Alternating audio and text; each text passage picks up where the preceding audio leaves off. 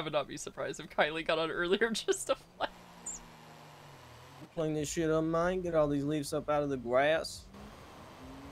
I'll come through my mowing. I'll cut it on down. Make sure it's all looking nice. Get my trim hedges Oh, go up the top. Yeah, Okay, all that bullshit. Get that shit in Debbie's pay. guys the best pickups yet. Yeah, they are pretty good. Got some weeds.